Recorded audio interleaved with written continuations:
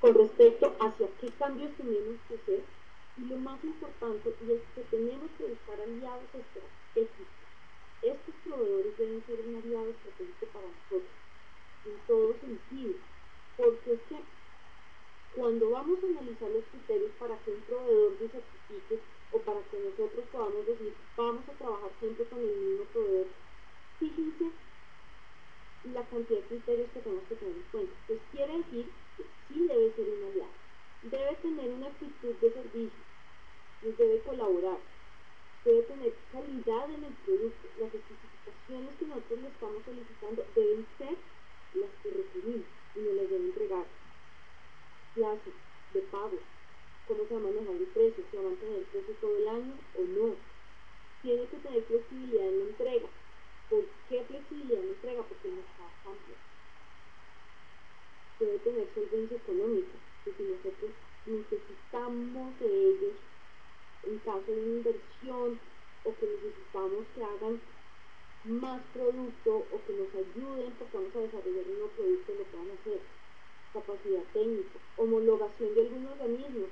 Fíjate aquí, ahora que hablamos de la norma 19.000, que también tiene una norma, que puedan añadir valor a nuestros productos, que sean capaces de apoyarnos en el desarrollo y que nos puedan dar algo más.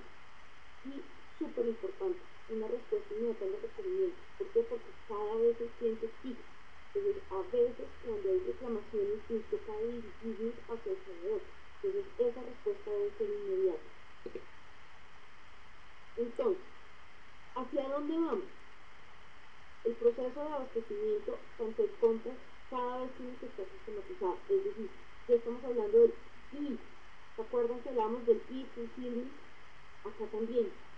Tenemos que tener transmisión de datos. Tenemos que tener despachos electrónicos, facturas electrónicas. Todo eso que nos va a permitir reducir el tiempo de las entregas, reduce la mano de obra en el proceso no es que debe hacer menos simple. Es decir, la gente que tenemos va a ser eficiente, garantiza la exactitud y precisión en la información.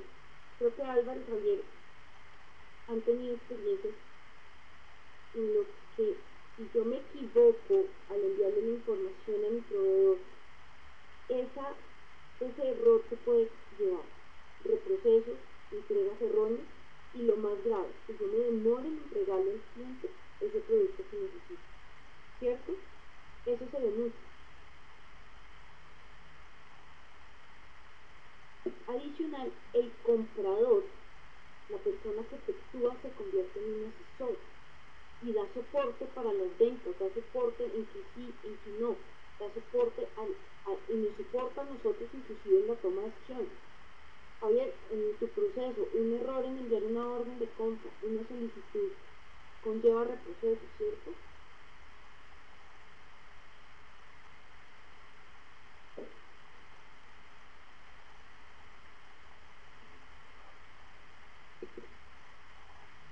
Ahora, aquí hay un cuadro comparativo en el costo de procesar una orden de compra. Tiempo perdido, imagínate el tiempo perdido. Y eso está.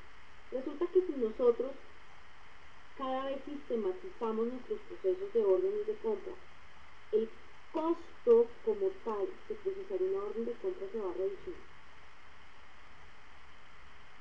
Y eso nos ahorra a nosotros tiempo, nos ahorra a nosotros, eh, nos permite generar un costo óptimo. Entonces, eso hace que, fíjense ahí las cifras en dólares, eh, lo que hace que logremos la red. Muy bien. Pero algo muy importante, lo que no se mide, no se controla. Aquí hay algunos indicadores de los procesos de abastecimiento. Ustedes pueden tener, eh, ustedes pueden tener los mismos o con otros nombres. Por ejemplo, el primero, adherencia al plan de demanda o adherencia a los pronósticos. Cuando nosotros como área de cadena de suministro generamos los pronósticos, nosotros a veces, y no a veces, por lo general las áreas de cadena de suministro son los encargados de hacer los pronósticos de ventas, uno dice, pero ¿por qué cadena de suministro en otro departamento? Lo que pasa es que nosotros sabemos efectivamente que se vendió. efectivamente qué se movió, qué se despachó, efectivamente qué tenemos en inventario. Conocemos los proveedores. Por eso es que nosotros somos los encargados de generar los análisis de pronóstico. Entonces, cuando se hace la adherencia, eh, perdón, eso no quiere decir que trabajemos en la mano con el área de ventas. ¿Estamos de acuerdo? Cuando hacemos esos pronósticos, los medimos contra la realidad. Se llama adherencia a plan de demanda o adherencia a los pronósticos. Lo que planeamos se ejecutó o no se ejecutó. Otro indicador clave es la evaluación de proveedores. Otro indicador es el número de órdenes de compras perfectas. Ahorros. A veces los departamentos de abastecimiento tienen indicador de ahorro. ¿En qué se miden los ahorros en cuanto a la negociación que yo haga con respecto al costo del producto? ¿Cuánto pude ahorrarme si hice una buena negociación? Si de pronto tuve algún descuento financiero, todo ese tipo de variables que nos pueden apoyar. Ya un indicador interno es análisis de gastos de sus presupuestos. Podemos verlo en dos partes. Uno, el presupuesto de compra, es decir, para las ventas del mes de febrero se presupuestaron mil millones de dólares en compra. ¿Se cumplió o no se cumplió y por qué? Y el otro tema son los gastos del departamento comercial. Y uno que es súper importante que nos permite nosotros empezar a liderar y sincronizar es el porcentaje del costo logístico. Del total de costo logístico, ¿cómo está mi proceso de abastecimiento? ¿Cuánto pesa mi proceso de abastecimiento? Ustedes se fijan en la primera diapositiva, en la que vimos de los costos, aparece el porcentaje de procesamiento de orden. Pero hay otro indicador que no está en abastecimiento, que está en el proceso de centros de distribución o logístico movimiento que llamamos, que son los días de inventario. Los los manejan en los centros de distribución pero el responsable es abastecimiento. Ese es un indicador que debe ser compartido, porque abastecimiento es el que nos llena las bodegas y el que nos ayuda a mantener los días de inventario meta. Pero muchas, muchas cadenas de suministro no lo tienen compartido. Y es importante tenerlo presente, que debe compartir. ¿Hasta acá cómo vamos? ¿Alguna duda, pregunta, comentario que quieran hacer?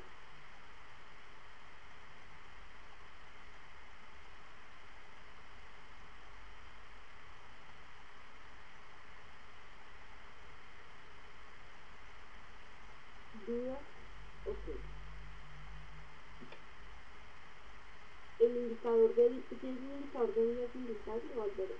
Javier, tú lo tienes también, ustedes lo manejan o no lo tienen, o, o de pronto Javier no lo tienes directamente contigo.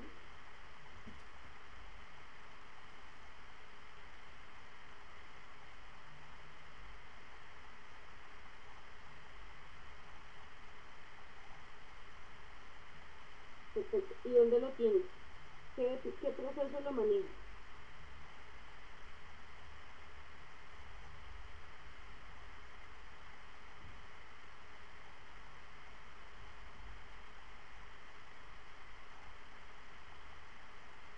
Lolita Finanzas, ok. Y dentro de tus diferentes procesos eh, está en cabeza que el de tus centros de distribución. Javier, yo te estaba preguntando si el indicador de días de inventario lo tienes por casualidad dentro de tu proceso.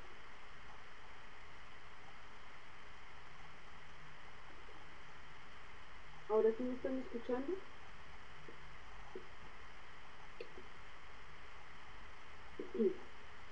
Yo les preguntaba, a Javier le preguntaba que si el indicador de días inventario lo tenía. Y Álvaro le estaba preguntando que si ese indicador de días inventario que sí lo tiene, estaba, digamos, manejado en, en las bodegas o en los centros de distribución, en qué parte de la cadena es como la persona responsable. Aunque lo audita finanzas, y finanzas siempre nos va a auditar días de inventario, por lo que es el flujo de caja.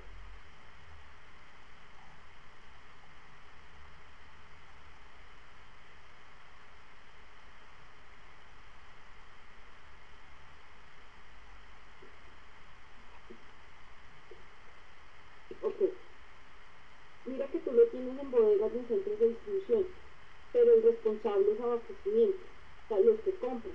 Entonces, es importante medir porque a veces ese indicador operativamente puedes hacer mejor, pero realmente el que el input de ese indicador es bien. Muy bien. Entonces vamos a hablar de gestión de la producción, que es el otro megaproceso que vimos, ¿se acuerdan? De una manera rápida. ¿Por qué?